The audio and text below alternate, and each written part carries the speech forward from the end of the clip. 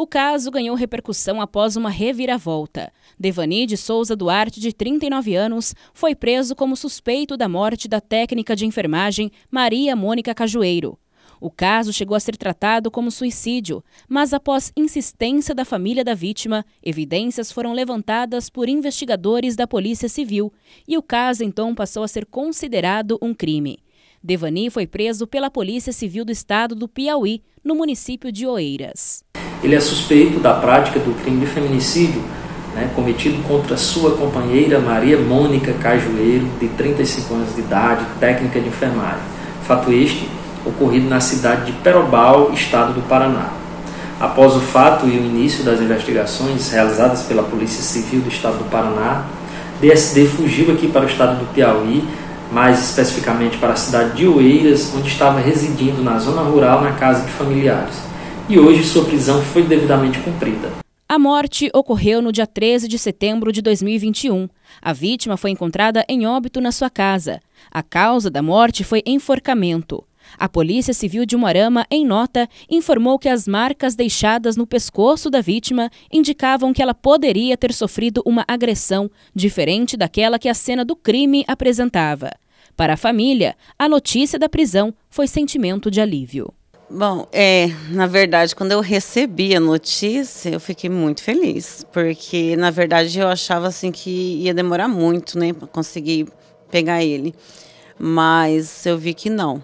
Eles bateram em cima até que conseguiram, né? Devani foi preso após se apresentar na delegacia de Oeiras. O delegado, Dr. Juarez, esclarece sobre o mandado de prisão temporária contra o acusado. Ele compareceu acompanhado de advogado na sede da delegacia de Polícia Civil aqui de Oeiras, de posse de um mandado de prisão né, com prazo de validade vencido.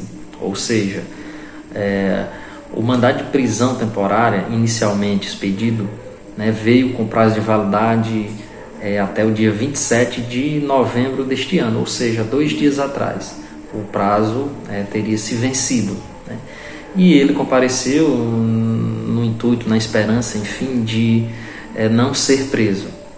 Mas nós, de pronto, contactamos o delegado responsável pelas investigações, informamos a situação e ele, de imediato, diligenciou no sentido de ser corrigido o equívoco né, e ser é, é, refeito um novo mandado de prisão. E isso foi realizado e nós, de fato, efetivamos a prisão temporária do suspeito. E também é importante nós salientarmos que antes dessa data de hoje, nós aqui da Polícia Civil do Piauí já tínhamos feito diligências no sentido de localizar é, é, ele né, para efetivar o cumprimento da prisão. A nota emitida pelo delegado de Umarama diz que uma das testemunhas ouvidas na delegacia narrou que o suspeito confirmou a prática do crime em uma conversa, logo após a morte da vítima. De posse desses indícios, a Polícia Civil de Umarama representou pela prisão temporária do suspeito, o que foi deferido pela Justiça mas em outro trecho diz que a prisão cautelar do suspeito foi requerida em razão da sua fuga do município de Perobal, já que essa conduta prejudicou o andamento das investigações e o completo esclarecimento dos fatos. A Polícia Civil esclarece que na fase investigativa não há formação de culpa do suspeito, em especial porque os laudos periciais apontam compatibilidade com a cena de suicídio.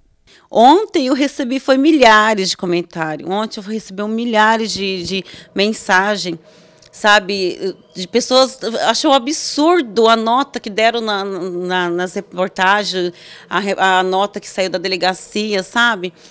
Porque além da pessoa fugir, agora quem está sendo acusado somos nós, que a gente que ameaçou ele é, as, a, a culpa agora é toda dela, claro, a, lógico que a culpa é dela. Ela não está aqui para se defender. Morto não fala. Devani foi interrogado por videoconferência pelo delegado Gabriel Menezes, que, em nota, informou que o suspeito reafirmou a todo instante que não praticou o crime e, inclusive, tentou reanimar Maria Mônica, pois ele já havia trabalhado no SAMU por oito anos e tinha conhecimento de algumas técnicas de ressuscitação.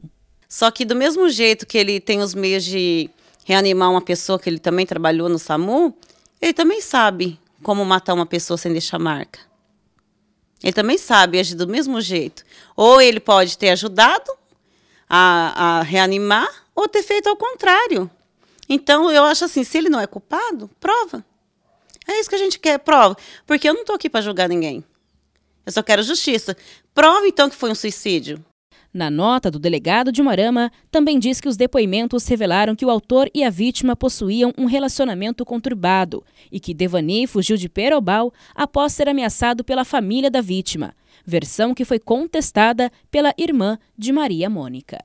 Porque, na verdade, a gente tem que ter como provar os áudios, as mensagens. A gente preocupada com ele, não fica nessa casa sozinho, vem pra cá. Ele até dois dias passou de dois dias lá na minha mãe, minha mãe fazendo café e abraçando, e ele com aquele, aquele olhar deprimente dele. Então, ele com. Ele só praticamente ele só foi embora, foi um dia depois.